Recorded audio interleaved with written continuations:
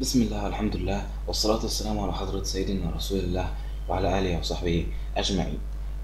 زي ما كان في switch من نوع checkbox المفروض يكون في switch من نوع راديو علشان يديني ال ability إني أختار حاجة من واحدة من ضمن مجموعة من الحاجات.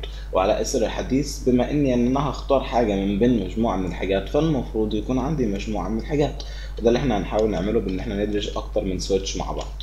تمام؟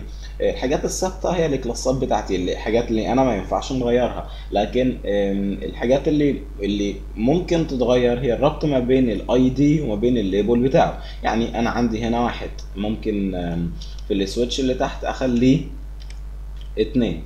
آه، بالنسبة لل switch التالت راح نخليه تلاتة علشان ده تديني ال- الاختلاف ما بين الاثنين تمام. وأنا مثبت يا جماعة ال- ال switch name okay؟ لو أنا عملت control S ورحت للموقع بتاعي وعملت reload أدي on ده شغال. لو أنا عملت ده on ده هيفصل. لو أنا عملت ده on ده هيفصل.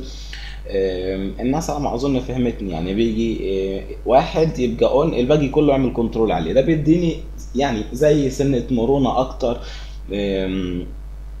نفس فكرة ال radio button يا جماعة بس مش أكتر. بس أنت بتحاول تعمل إيه؟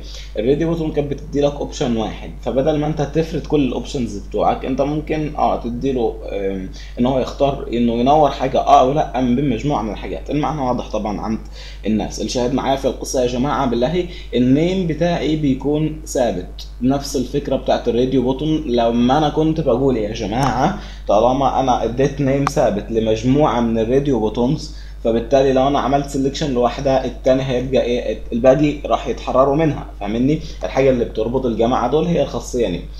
إيه سبحانك اللهم ربنا وبحمدك. لا إله إلا أنت أستغفرك وأتوب إليك. السلام عليكم ورحمة الله تعالى وبركاته.